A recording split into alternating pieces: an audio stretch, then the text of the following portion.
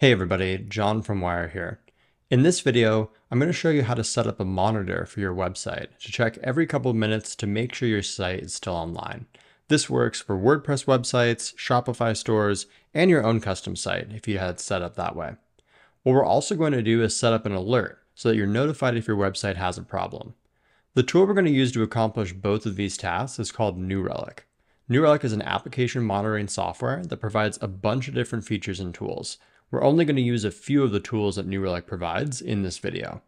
New Relic is completely free up to a certain number of website checks per month, and data that you use is completely free as well, up to 100 gigabytes. For this tutorial and the tools we're going to use today, you won't have to pay anything because we'll be on the free tier. To get started, navigate to newrelic.com and click on the sign up button. Enter your account name and your email. I'm going to use my Gmail account. You'll receive an email that you need to go and click on with a confirmation link. I'm going to go and copy that link and then come back here to create a password. This final option asks you where you'd like to store your data.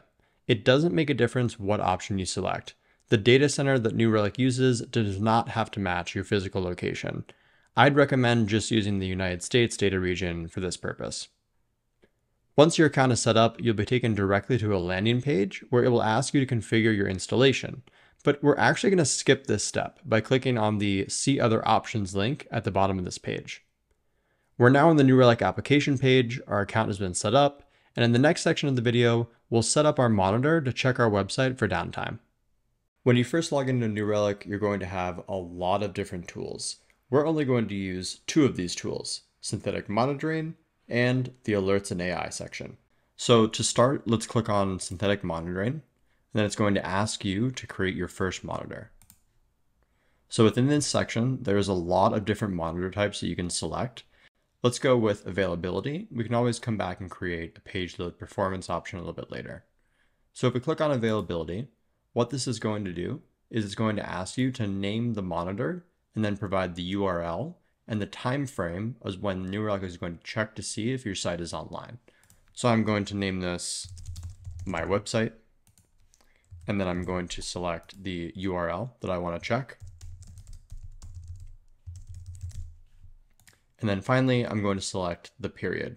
So I want every 30 minutes for New Relic to check this website on whether or not it is online. There's a few advanced options that you can choose. So if you wanted to do a text validation, you can select the text on your website that you want New Relic to check for. Let's show an example of what this means. So if I go to my website, and if I see on my website a piece of text um, maybe we should have a piece of text at the bottom of the website to make sure the website is loading everything correctly. All right, so I'm at the bottom here and um, what if I have this last article? So this is what's gonna happen if you select this. I'm gonna select this text. I'm going to paste it within the text validation section.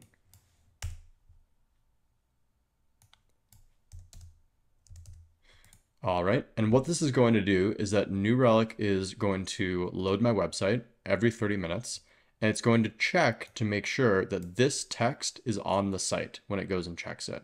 So why is this important, you might be asking? Well, there is the possibility that your website loads, but maybe it crashes halfway through, and the other half of your website doesn't load after maybe this point in the site. This is not good, and you'll never know this unless you manually go and check yourself. So by putting a text validation in this field here with an article text or a title that's at the bottom of your site, you're just making sure that your entire website from top to bottom is loading every single time that New Relic checks for it. So this is important, but it's totally optional if you don't want to add it as well. All right, so I have all the default settings that I want. I don't need to verify any of these different options here. So now I'm going to go to the select locations option. So what we want to do is we want to select the locations that New Relic is going to try to attempt to access the website from. So if you are blocked in certain locations or if you're in a region where you're not going to have someone from, say, Australia be able to access your website anyway, it's probably best to leave out Australia, or that area that is restricted. I'm just going to choose one or two of them. Um, I think it yeah recommends three locations total. So I'm going to choose Columbus, Ohio, London, England, Sydney, and then Tokyo, just for good measure. And now I'm going to save my monitor. Okay, so my monitor has been saved, and over the next couple of minutes, the four locations that I've chosen are all going to attempt to access my website and look for that piece of text that I told it to look for. So I'm going to come back in a couple minutes and we're going to see the results of this test. Okay, so I've waited a couple minutes and it looks like the rest of the locations are still pending for that request to go out, but my Tokyo location successfully went to my website and checked to make sure that my piece of text was there. So you can see that I have zero failures and one checks that have been completed. So what I can do with this information is I can go to the results section on the left-hand side, and I can see that my Tokyo attempt happened on this date at this timestamp, and the result was a success. So this is good. This means that my website is up. It means that everything loaded correctly. It means that it was able to find that piece of text at the bottom, which was related to this article, and everything worked out well. So everything looks good here. I want to show you what happens when something doesn't go well and when an error occurs, because this will influence how we create our alerts within the alerts section. So what I'm going to do is I'm going to modify this alert, or excuse me, this monitor by going into the general section under settings and I'm going to do something under the advanced options to make sure that this monitor fails. And what I'm going to do is for the text validation section, I'm just going to misspell something. So I'm going to change recently to the misspelling of recently. And what this is going to do is it's going to check for guide how to view recently played songs on iOS, and it's not going to be able to find it because recently is not spelled correctly. Now, I'm using this as an example, but in a normal situation, you would want to put the correct piece of text here, and you would only have an error when your website can't load. So if your website is down, or if it's overloaded, or something else happens where it couldn't load everything on the site. But just for the purpose of this demonstration, I'm going to make sure that this monitor fails, and then I'm going to show you what happens once it fails. So I'm going to click on Save Monitor, And then in a couple minutes, it's going to have a check in London, England, or maybe in Sydney, Australia. And this check is going to fail. So I'm going to fast forward a couple minutes and I'll show you what it looks like when a check fails. Okay, so instead of waiting for London, England to go and perform its check, I just clicked on the Run Check button next to my Tokyo, Japan, and that was able to detect the failure instantly. So this is exciting. Let's look and see what happens when a failure occurs on your website. So if I go into the results tab, I can see that a recent check failed, and I can see the failure message right here as to why it failed. So the response did not contain the expected string. And obviously it will never contain that expected string because recently is spelled wrong. So if I click into this, I can see exactly the timeline of what was loaded on the site and I can also see the full error that occurred with this check itself. So what I can do with this information is I can go into the failures tab and I can see all the different failures and the locations of what happened.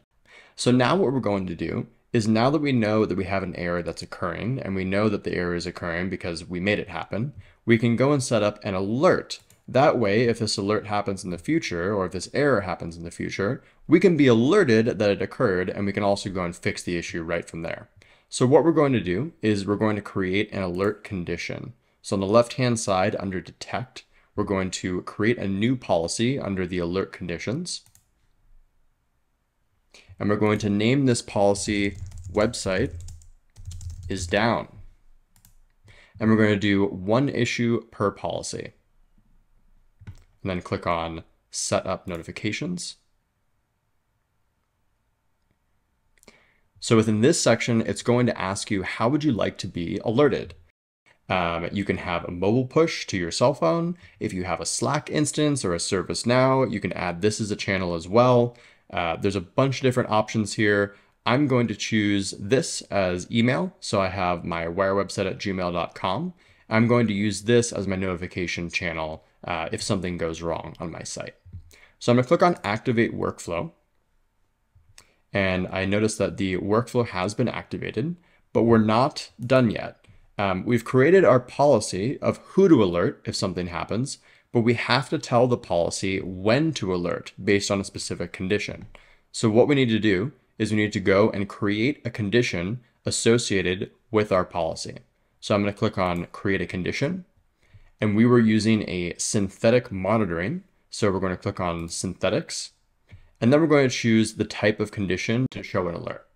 So we can choose via a single failure. So if one of the locations that we're using fails once, then we can send an alert. Or if all the locations are failing, we can have an alert sent that way.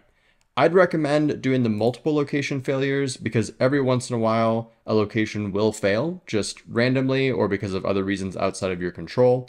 If you have multiple locations failing at the same time, that usually means that your website has an issue. So I'm going to choose multiple location failures and then I'm going to click on next, select entities. So I have my website, which is the synthetic monitoring alert that we created earlier. And then I'm going to define the thresholds. Through a threshold is just the parameters that you want to choose for this alert to fire. So if I want to say that all of my locations are failing, I know that I have four locations based on what I selected earlier. So I'm going to choose four locations are failing. The violation time limit is a little bit difficult to understand, but it's simply the amount of time that you want New Relic to wait until your alert is automatically closed. So imagine this. If you set up a violation time limit to 12 hours, if that violation lasts for 12 hours, the violation will be closed at that 12 hour mark. I usually set my alerts for two to three days as a violation window, but just for the purpose of this tutorial and for future tutorials that I'm going to make, I'm going to change it to 30 minutes. Again, if you're not sure about this option, change it to two to three days. I'll link to the documentation below at the video description if you want to learn more about this option. So I'm going to name this condition website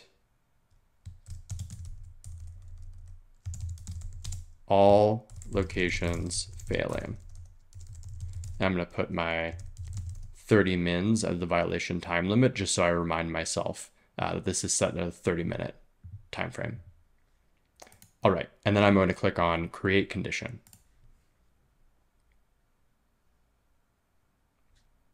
Okay, so my alert is on and it's now going to check to see if all of my locations have failed. I know that they're failing in the background because I changed the alert condition to do so. So I'm going to leave this on and I'm going to wait and see until all of my locations have failed. I can do this in a couple ways. I can view the issues that are generated by this alert. And because we haven't waited 30 minutes, nothing is going to appear here. Or I can go into my synthetic monitoring tab and I can see all the different layers that are happening based on the errors tab on the left-hand side. Right here, failures tab or I can just wait for this email to arrive. So I'm gonna wait 30 minutes, come back, and I'll show you what happens once the alert goes off. Okay, so I've waited a couple minutes and I even went back into my synthetic monitor and I changed it from 30 minutes to five minutes just so it would fail quicker. And what happened after a couple minutes is that all four locations failed. So all four of my different locations within my monitor failed on my website. So in the alerts and AI section, if I'm in the issues and activity, I can see that there is an active alert and it's pretty critical. It means all of my issues have failed within this time frame that I specified. So what I'm going to show you is what it looks like within the alerts and AI section. And then we're going to look at the synthetics monitoring tab to see what information is there. And finally, I'm going to show you what the email looks like that you're going to receive once your website is down. So first, let's click on, on the issues and activity section and then click on the active issue that's going on. So this tab is going to show you all of the details related to this alert that just occurred. So we can see that all four of these locations for the My Web website synthetics check have failed. And I can really quickly view the results of why they failed for each location by clicking on these buttons. If I scroll down, I can also see all the impacted entities. So if you have multiple websites that are going down, it'll show a nice little correlation here about where each ones are affected. And at the issue timeline, I can see exactly when the issue occurred and what happened in terms of who was notified and when the issue was activated. And then finally, there's additional metadata at the bottom if you wanted to copy and paste this issue and send it to one of your engineers. So this is really critical. Um, so what I can do is I can do a few things uh, I can first go and I can acknowledge the issue. So I can make sure that I have said, yep, I know this is happening. I've acknowledged it. I'm now going to work on it, fixing it. So I would go to my website and see, you know, why is it not loading or why can't it find that specific string? And then once I've gone and fixed the issue, uh, I would go and click on close issue. Before I do that, I want to show you what it looks like within the synthetic monitors tab. And I also want to show you what it looks like via the email that you're going to receive. So I know an email has been sent because it has the notified option right here. And it says that an email has been sent to my email address that I have on file. So now let's check out the synthetics monitor tab. And within this tab, you can see that my little icon here went from green to red. And that only happens because there's a critical violation that's happening that I specified within my alerts section. And I can see really quickly that all my locations are failing, uh, and that is obviously a bad time. I can see within the failures section all of my different locations and the message they're receiving. So obviously something has gone wrong. So now let's just take a look at what it will look like when you receive an email, and then let's go and fix this alert so it doesn't happen again. Okay, so I've just logged in to my email and I can see that I have a New Relic incident email that's just occurred. And what happens is that it'll show you what's been activated. So four more of my locations have failed for the My Website check. And it'll also give me a brief overview of what happened uh, with some helpful links at the top to acknowledge or close the issue or go to the issue. So I'm going to click on Go to Issue, and it's going to bring up the alert that I have uh, that I've just seen within my alerts and AI section. So let's go into our synthetic monitoring and let's fix this alert condition because again, this isn't actually an issue with my website. It is an issue with my alert. So if I click on general under settings, and then I change my validation back to recently, then click on save monitor. This is the correct text, which is on my site.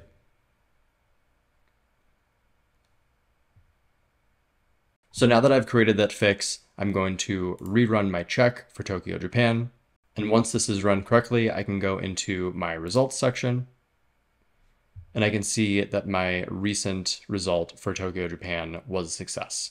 So I was able to load my site and find my response validation. So what I can do now is that I know that this issue has been resolved, so I can go to the alerts and AI section.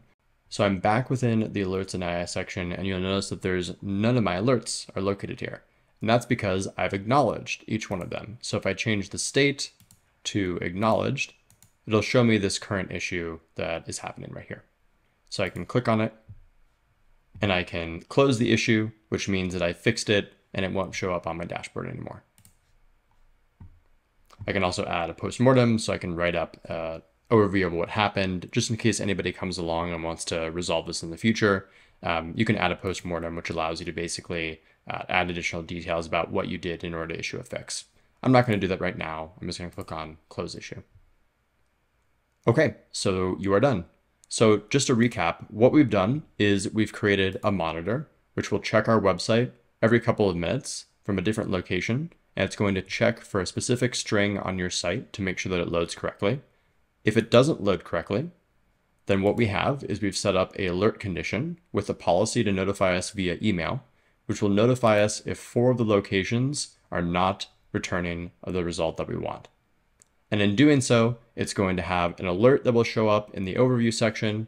It's going to have an email that will be sent to your email address that's on file, whatever you've configured with your alert. And you'll also be given a notification within the synthetics monitoring tab, which will tell you that the location has been failing.